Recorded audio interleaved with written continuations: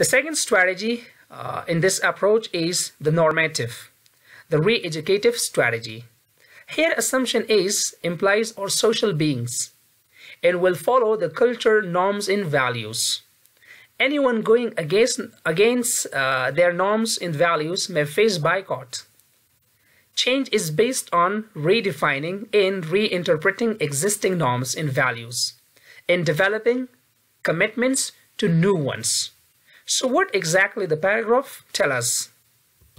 Uh, so we can say that uh, this approach describes that how the individuals make decisions regarding the change. So we can say that they are making decisions based on their cultures, based on their norms, traditions, and values, not rational reasoning. It means in this sort of strategy, when the people, they're not using their rational reasoning power, what they use, they're making decisions regarding their culture. We can see lots of societies, whenever they're making any decision regarding the social context or the organizational context. So they're making decisions based on their culture. They're avoiding some activities or some practices in society. Why? Because their culture does not like those activities uh, to be performed. So even, you know, in, in organizations, the organizations which are against their culture, even some employees do not prefer to work in those organizations. The organization is against their culture, the organization is against their norms, their values, their traditions. So what they do, they're avoiding. So we can say that in this strategy or in this approach, what the organizations do and what does what uh, you know uh, the people do in social context to bring change. They're they're using you know this approach in order to attempt a change by what? Uh, by changing the attitude of the people or the attitude of uh, the employees uh, regarding their cultures, their norms, their standards. So we can say that in general, uh, this strategy can be used that to change the individual's behavior regarding their beliefs. So normally, as I said before, that you know in this strategy, uh, you know the concentration is directly on the culture. And why we say like you know on culture you know i'm just uh, like like giving you an example for it. Uh, because you know uh, normally the people uh, like you know what what they believe about their work what they believe about you know uh, like you know the world where they live and what what you know uh, they believe about you know uh, the way they live. So normally normally people you know they are just you know uh, like like including culture. So whenever they work somewhere so they're including their culture in work uh, you know they're they're including their culture you know even living somewhere. And also they're they're showing you know like like consistency about these points. The Mauridi uh, همیشه در باز جای ببینید شما کارمند مثال کلچر خود در, در, در, جا در جاب شو میکنه یعنی ای کار ما میکنم چرا که به کلچر ما سپورٹ میکنه لیکن اوایڈنگ سم ورک بیکاز یو نو ایت doesn't سپورٹ اور کلچر بیان که ما برتان برزی یک مثال بسیار واضح بتم که تا که این موضوع برتان کلیر شوه اگر شما دیده باشین recently uh, in some in some countries uh, the people you know uh, what, what what they were thinking about you know like one of a virus you know which outbroke uh, in many countries. Uh, so the concept about this virus you know uh, in many countries was uh, kind of that actually this virus does not affect them due to it means you know several reasons. Either you know they belong to to a culture or you know a religion that it does not affect them. And even you know like like you know in afghanistan people uh, they weren't you know that serious uh, to take you know their hygiene a very serious matter.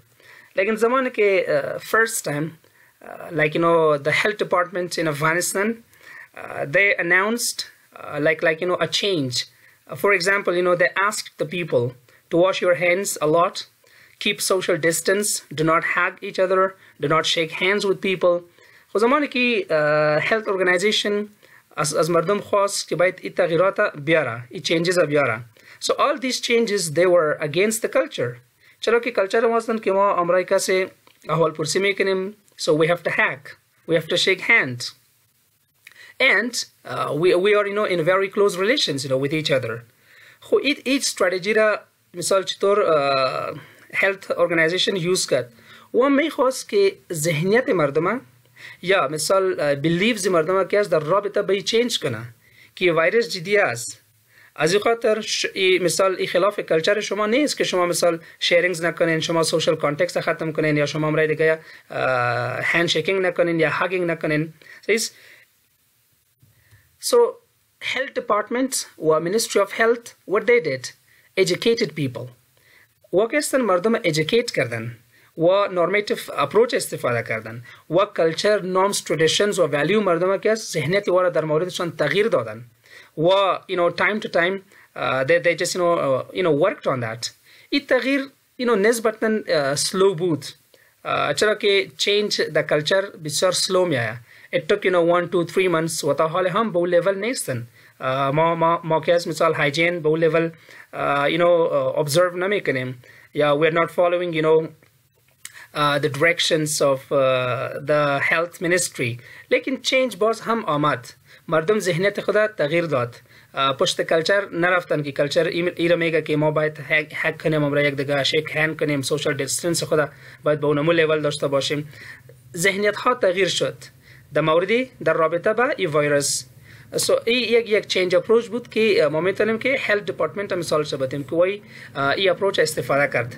ذهنیت مردم کلچر مرد کلچر مردم بیهیویر مردم که از در رابطه با این موضوع چینج کرد لیکن چند چیزا باید در مورد نورماتیو یا ری ایژوکیتیو استراتژی ما باید بگویم که ای اپروچ it's best for long for long run یا for long term ای اپروچ که از به long run خوب می باشه because you know like cultures and norms and values cannot be changed uh, rapidly within a day and night uh, and also it may create you know stigma for people بعض وقت که disapprove میکنه still you know in Afghanistan I can give you the example that many people they're disapproving that uh, you know coronavirus can be uh, like spread from one person to another person by shaking hands. So still they're disapproving.